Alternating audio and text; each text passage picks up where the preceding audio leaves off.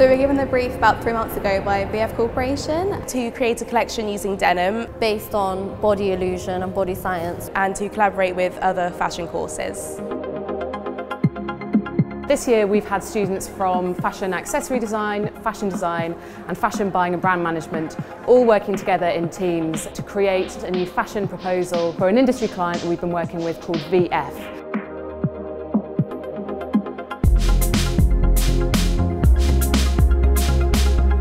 I think it's really important to get live industry briefs um, because it teaches you a lot about the industry that you're going into and um, how to prepare yourself for your career. I think my initial reaction was actually uh, a lot of nerves actually quite scared. It's my first industry brief I've ever, ever done with a company or a client. And I think initially the concept was actually quite scary because it's something that I've never heard of before and the way that they were sort of creating a body illusion to a silhouette between men and women.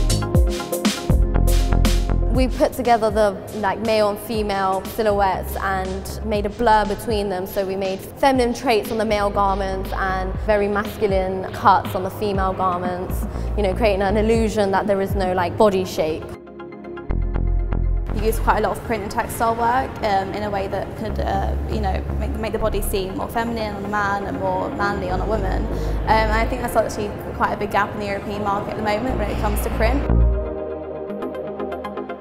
We've had industry panels coming in three times throughout the project to check on their progress and to give them feedback, which again has really pushed and really challenged those students. In fashion, you're always going to face challenges, but I think as a team we actually pulled through quite a lot of those really, really easily. I've absolutely loved collaborating with the other students across the other courses. You know, a fashion designer will probably have to work with a fashion accessory designer and the design team has to work with the buying team and the brand management team. And so this is, is the reality for them. I think um, you always sort of undermine yourself and sometimes you are your best critic and I think what we have now is just something that I'm really, really proud of and really, really pleased with. I'm very proud of our final piece. I feel like the brand we created has really translated a gap in the market for VF, you know, really suited to what they asked for. Absolutely blown away from just 11 weeks of work. It's quite phenomenal what our students have been able to achieve.